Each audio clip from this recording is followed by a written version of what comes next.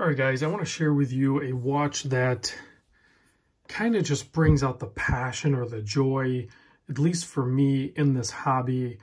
Um, and there's it's part of the whole story, but this one's just really fun and really cool looking. And it goes back to basically when I was about my later year of high school when these came out in the early 90s. This is the Casio surfing timer, or the part number on this one's a DW 402 using the module 906, but you can see it has a lot of colorful things going on there with the um, screen and it's, you know, not symmetrical at all. Um, but before we get into that, I want to say uh, props to another YouTuber slash Instagram guy, uh, Watch and Carry. So it's watch dash n dash carry. And that's really how I actually landed on this because I was looking at modifying these world timers.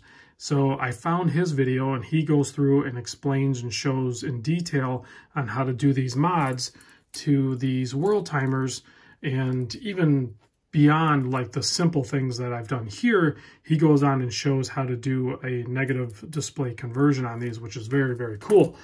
But in searching his channel, I noticed this exact, well, not this watch, but this exact model and strap option. And for some reason, I instantly connected with it. Um, and I went on a mission to basically replicate exactly what he had done, which I had not seen anywhere else. So I felt a little weird totally just stealing his uh, design cues or creation with, you know, this combo, but I couldn't help myself. I liked it too much. I had to do it. I had to own that combo. So I scoured eBay and Instagram and everywhere I could look.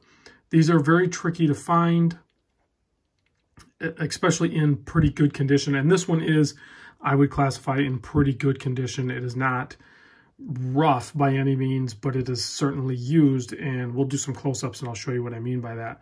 You can find them occasionally new old stock or very clean, almost barn find-ish, uh, but it's it's pretty rare. Um, these these watches were not that expensive when they were out initially, and they got worn. So to see them even in this condition, considering it's from say like about 91 or something like that, uh, I think I feel like I lucked out a little bit.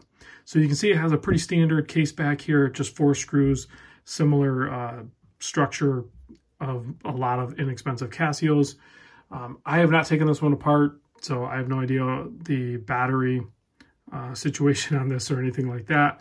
And we'll talk about the strap in a moment, but you can see it's it's pretty much a some sort of pretty solid plastic or resin type case. Um, and you can confirm that by looking at this bottom lug here, you can see it's it's kind of chipped out right there uh, probably from somebody messing with a strap change or something like that. But I really like the uh, the design and the build of this. We'll talk about the size here in a moment as you're looking at that screen. You can see there's some scratches on there and the bezel's, you know, scratched up a bit, but uh, it still looks really cool. I like the a little bit of patina that is on this. I'm, I'm totally happy with it. I would have been ecstatic to find a new old stock, but this um, I'm happy with what I have here and I'm not looking for another one to like sell this one and then have a new old stock. I'm 100% happy with this particular watch. So size on this, it's a little tricky. I'll try to explain what I mean by that because typically when I measure some of these watches when they have weird cases like this, I'm going to give you a real dimension. So if you go from here to here, you're looking at 44.25 but it's not a 44 millimeter watch at all. So to be fair and measure it like we measure all other watches excluding crown guards, then if you measure basically from here to here, so you're still getting the case, but minus the crown guards, it is like 40.75, so 40 and three quarter mil. So now you're talking close to that really um, sweet spot that I like, that 40 and a half to 41 right in there. It's just such a great size watch. And then the lug to lug on this is 47. So it's nice to see it a little bit longer like that instead of, um, I've had some in the, well, like this one here, which I may or may not do a video on, is much smaller. It's, it's a smaller case and way too short of lug to lug for me. it might work uh, really well for a lot of other people. The thickness on this is about 10 and 3 quarter mil, and the lug width is a 20 mil, so you're going to have a ton of strap options with this. Um, you know, NATO's or I think it comes on like a standard, you know, like Casio type plastic rubber strap or something. That's what it normally would come on. I really like it on this leather. Um, I could also see maybe like on a like Erika's Original type strap, something like that, one of those elastic straps. This would be killer on because it is pretty light um, and it wears great. But um, let's see, let's let's talk about the strap real quick before I forget. This is a Xeric, I believe is how it's pronounced. I could be wrong. It's Z-E-R-I-C. I'll put a link in the description, but it is actually a uh, Horween leather material. It has the quick release spring bars on there. I paid $60 for it, and I absolutely love it. I love the way this is um, configured here. I don't know what you call that, like like padded, but then stitched across. Because um, I'm typically not a fan of padded watches, or uh, straps, excuse me. So um, this one is cool. And there's there's other colors too. I'll probably order a couple of more uh, from this website. I think it's watches.com. And then they have a bunch of different stuff, watches and straps. But then you get over to the Xeric section and then you can get into the straps. They have a bunch of different ones to choose from that look great. So let me pop this on wrist. And then I can just blast through the functions real quick. There's no illumination on this. There's no uh, there's no lume and there's no light on it. But you can see there on my seven and a quarter inch wrist, I really like the way it wears. I probably have it a little bit too tight right there. So it's pushing my skin in a little bit. But um, yeah, I think it wears great. Super happy with the purchase and the build, if you can call it a build, doing a strap change. I guess that's kind of a mod, uh, entry-level mod. But if we look at the functions on this, let's zoom in so you can, it's just so fun to see that blue. It's a really deep, dark blue, and then you have the red with all the gold tones, and you can see so you have the one through five counter up there, and then once it completes its course, it'll go, it'll fill one of the other blue squares. So there's your five, and then it'll go to 10, and then so on and so forth.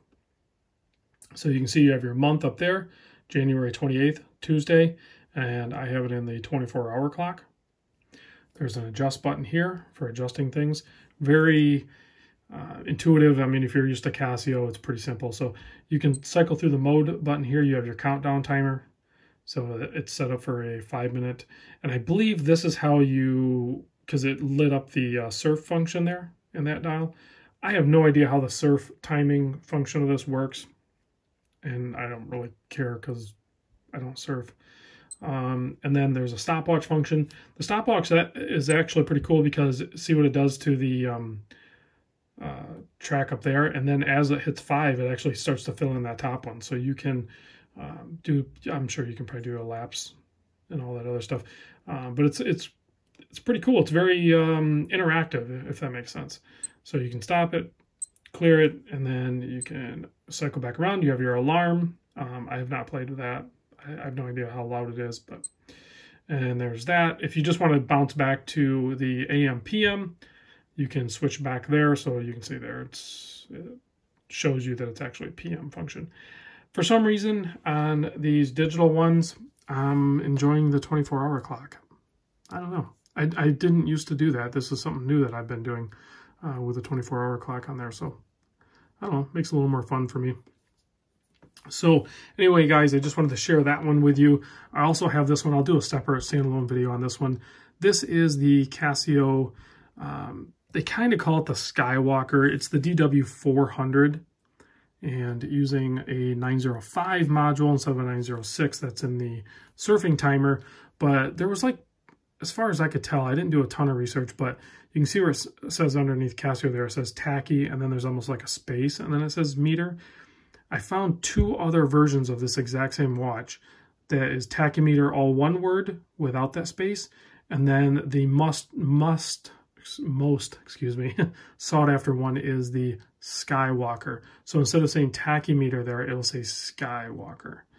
Um, and those ones are actually very sought after, mostly by, you know, it's pop culture type thing. I mean, these watches are, you know, definitely pop culture. So very fun and good looking watches.